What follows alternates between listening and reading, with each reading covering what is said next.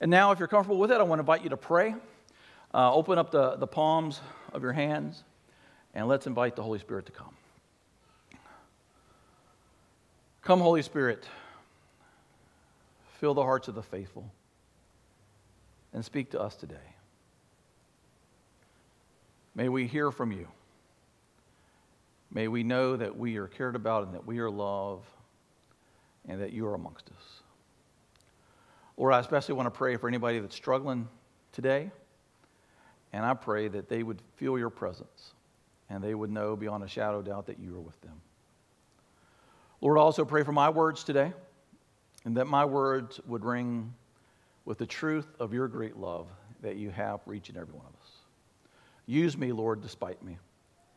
It's in your name we pray. Amen.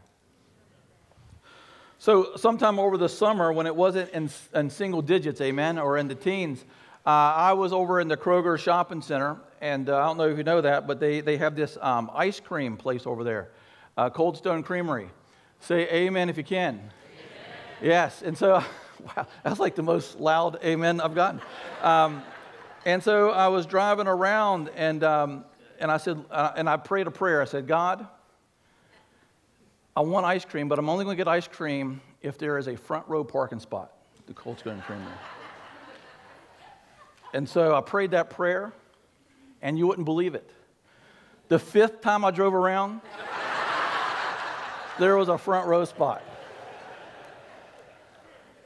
It must have been God's will, right?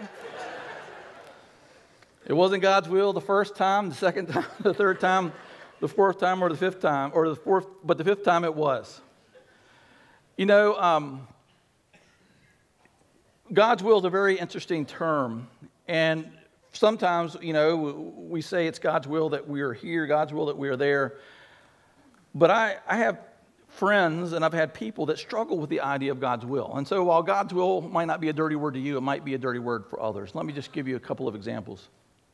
Um, I have a friend um, who, when he was in college, his dad uh, got cancer and he died. And a well meaning Christian went to him and said, You know, this was God's will, this was God's plan. And their hope was to try to bring comfort, but they actually did the opposite.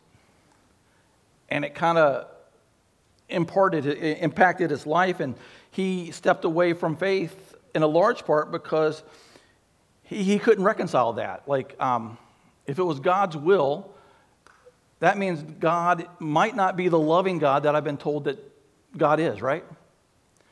Um, think about the uh, tsunami, uh, the one that hit Japan, uh, the one that hit Thailand, uh, you know, many years ago, and the hundreds of thousands of people that died. I believe in the one, like in 2004, it was 225,000 people died.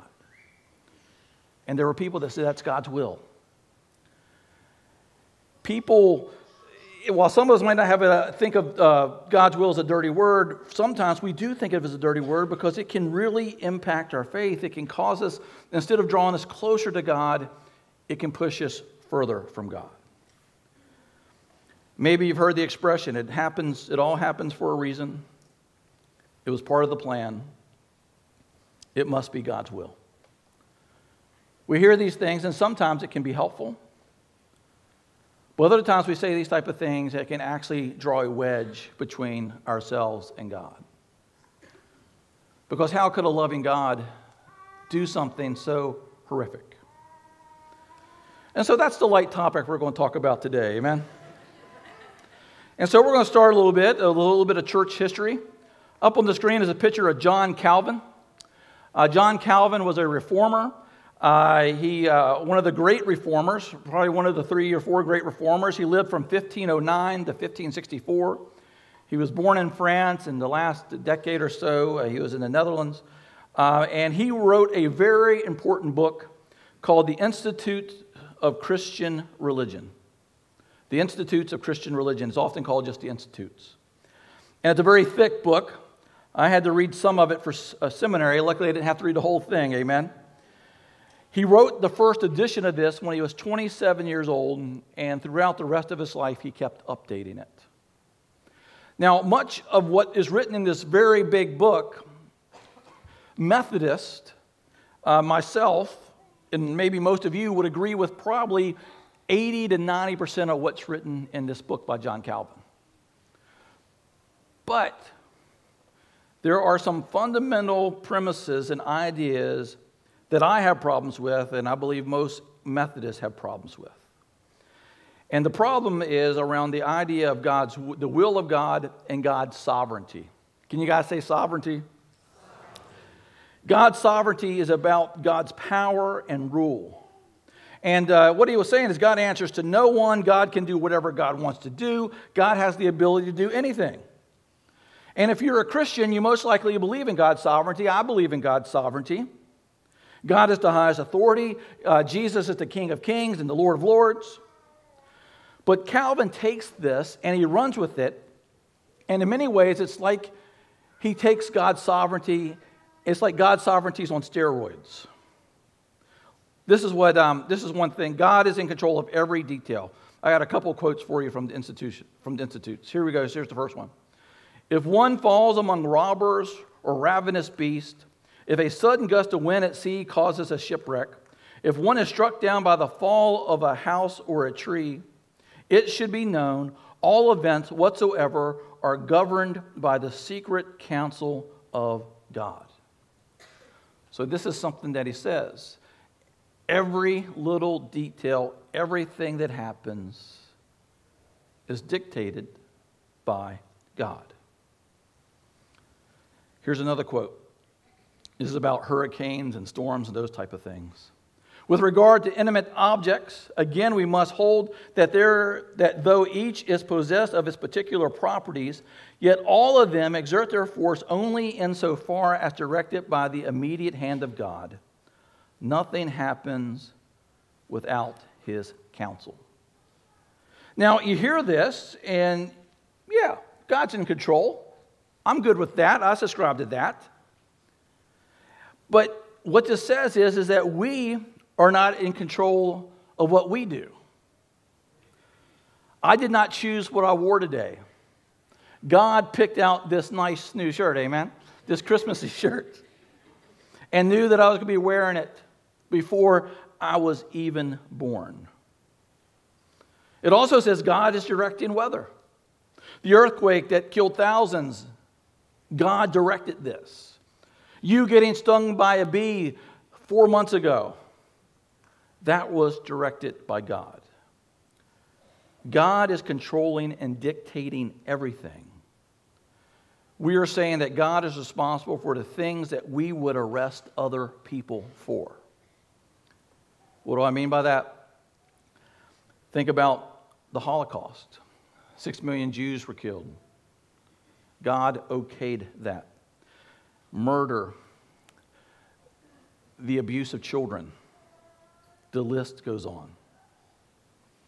And what can happen is, is that this can pull people apart from God.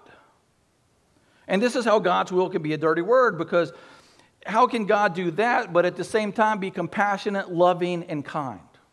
How can you reconcile those two things?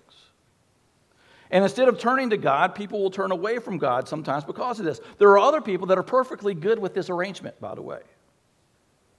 And so what happened is, is that uh, Calvin wrote this, and then some people started to push against it, including this guy, uh, Jacob um, Arminius. You can see a picture of him. I'm going to wear that collar next week, by the way. And he kind of came after Calvin and John Wesley, the founder of the Methodist Church started to follow this guy's beliefs. And he talked a little bit more, a lot more about free will. And so we're going to talk about God's will today.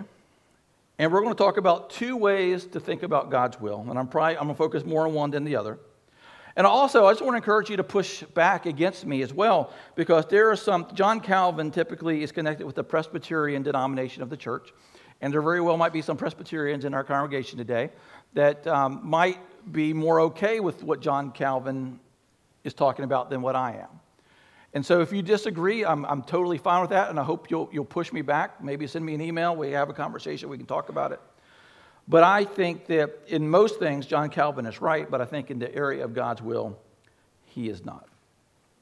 So, this is to what I want to do in thinking about God's will. Let me show you a book. This book, if you can see it, is the story of my life by God. All right? You open it up, and every page is filled. Every page is filled. And not only, and this is the book of your life story, the story of my life, and this book was written before we were even born. And look at this on page 151, Gordon would wear khaki pants, blue shoes, and whatever plaidish um, flannel shirt to church on February or January 21st. So that's one way to think about God's will. But there's another way to think about God's will. And that's the story of my life by God and me. And in this book, all the pages are blank, except for the ones that have already happened in my first 50 years of living. And seeing God this way is seeing God as collaborating with you. And so, what I want us to do is to think about, when we think about God's will, is I don't want to think about things that have already been determined, but I want us to think about God and us collaborating on our story. Now, um, if you people co write books sometimes, right? And sometimes it's this person's experience, and sometimes it's the other person's experience. And I really think our life is kind of a combination of those things. There are times, sometimes where God is leading and God is directing us, but then there's sometimes where we're leading and sometimes we're leading in the wrong way, right? But the main thing that I want us to hear is that we are collaborate, that God is collaborating with us. And so we're going to talk about this for the last few minutes. And so, uh, the first thing I want to talk about is that God is collaborating with us, is to think about God as parent. God as a parent. Now, we need to remember that all metaphors fall short, right? But some metaphors are good. And so the first one I want to talk about is God as parent. My wife and I, Leanne, we have four daughters. Praise be to God. I believe we, along with God, were responsible for their birth. All four have our DNA and personality traits from each of us. Uh, that the good and the bad, right? Our will is that they have faith in Jesus, that they love others, that they have friends, that they have integrity and character, and that they seek to make a difference with their life. Our will is that they have joy and happiness. This is our desire for them. This is what we want. But guess what? No matter how much we want that, what can't we do? We can't force it upon them. It'd be great if you could force your children to be joyful, right? And sometimes we try that. We hope we have given our daughters the tools to make wise decisions, particularly the older they get. And we hope we've shaped their values in positive ways. And we will always love and support them. Part of the joy of parenting is watching your children make good decisions, amen, or the right decisions, where you didn't have to tell them what to do, but they just naturally did it. What if God's plan for our lives, instead of being predetermined set of specific actions, were more like that of a heavenly parent? God's will may have less to do with whether we take this job or do that, but it might be more about seeking to love God and to love our neighbor. And that's what I think God's will is like. God's intention is that our story be about redemption and love and faith and courage. And there are twists and turns in the story. And there are times when we take the story in a direction where God would not choose. There are chapters where we do all the writing, but the best chapters in which we hear God's inspiration and ideas, and we write that story together. And so that's the first way I want you to think about God's will. It's that God is a parent, and we are the children. Second way to think about uh, our collaboration with God is God's prescriptive will. Can you guys say that with me? God's prescriptive will. Think of a doctor's prescription. A prescription is uh, an instruction given by an authority, often written and usually aimed at bringing about an improved state, right?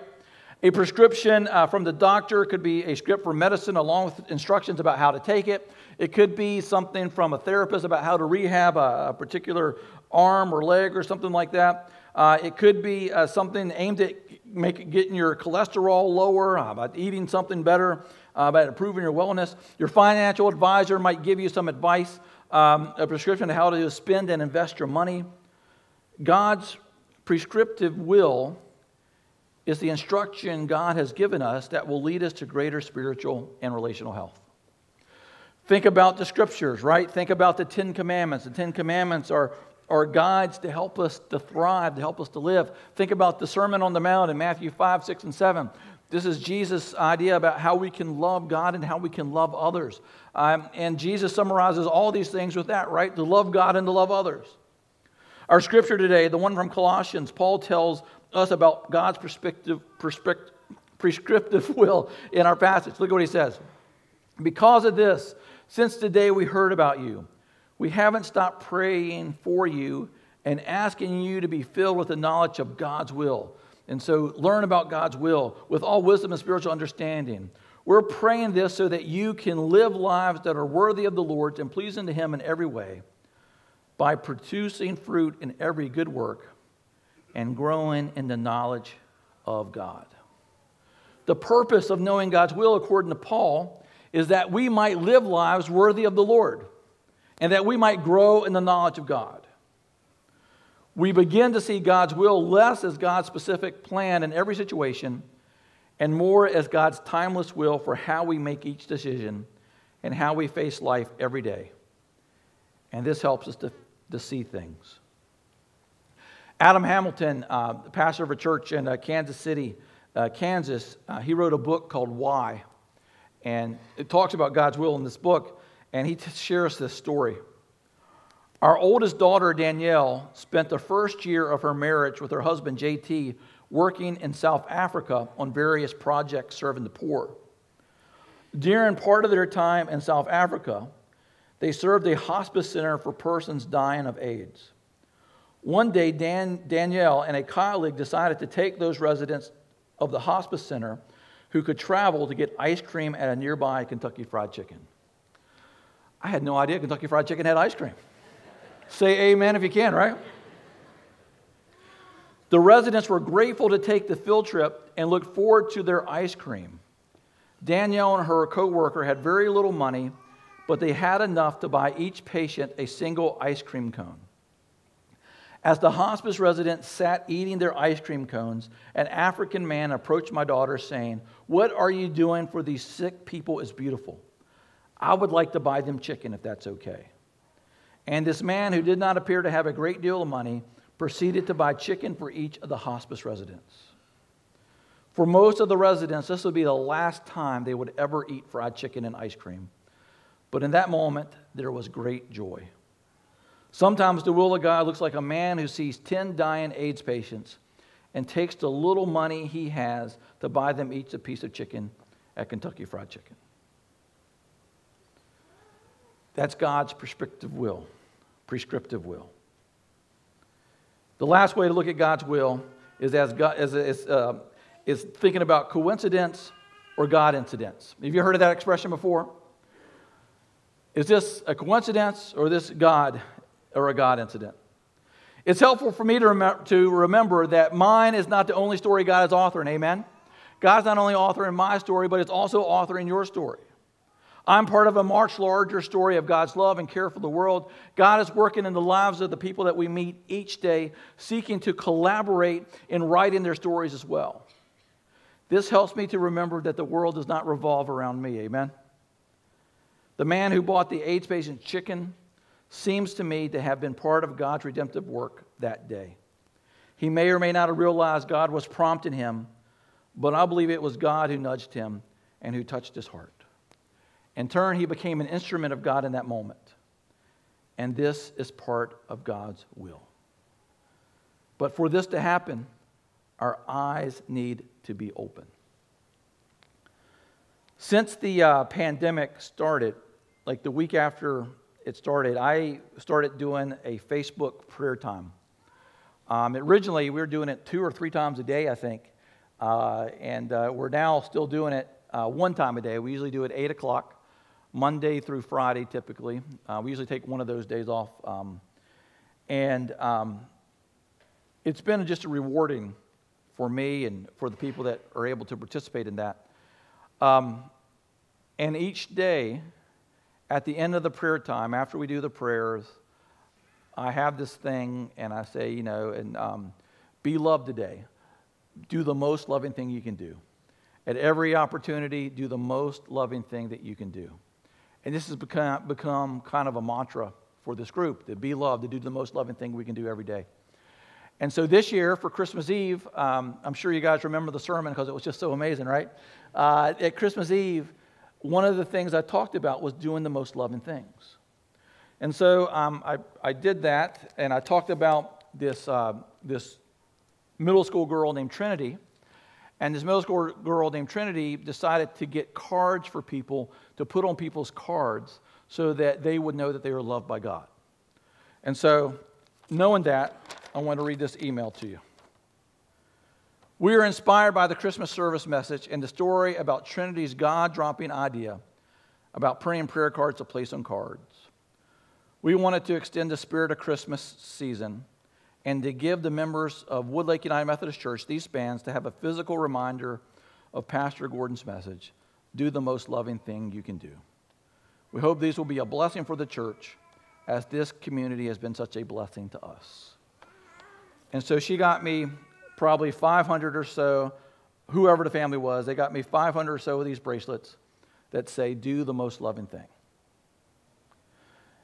If you want to do God's will, I think the best question that you can ask is what's the most loving thing I can do? Don't be concerned that this is the right decision or the right decision, but if you boil it down to that one thing, what's the most loving thing I can do? You will most likely be doing God's will. Amen? And so that's the next step for today, is to simply do the most loving thing. And if you want one of these bracelets, um, the ushers will be handing them out as you exit today. But I invite you to take one of these, and I simply invite you to ask that question each and every day What's the most loving thing I can do? I want to close by reading the Romans passage. Again, this is Paul, and he's talking about um, just, I'll just go ahead and read it and tell you that later. So, Paul's brothers and sisters, because of God's mercy, I encourage you to present your bodies as a living sacrifice that is holy and pleasing to God. God wants us to, to love each other, to love God and to love others, and to be, to, and to be a living sacrifice. This is your appropriate priestly service. Do not be conformed to the patterns of this world, but be transformed by the renewing of your minds so that you can figure out what God's will is God's good, pleasing, and perfect will. I invite you to take one of these bracelets. And even if you don't take a bracelet, I invite you to do God's will by doing the most loving things possible. Amen? Let's pray. Most gracious and loving Lord, we thank you for loving us. And Lord, sometimes it can be so easy to get wrapped up in what is God's will for us.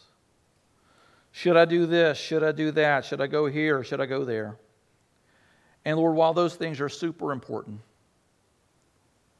when it comes to doing God's will, the most basic, simple thing we can do is to simply do the most loving thing.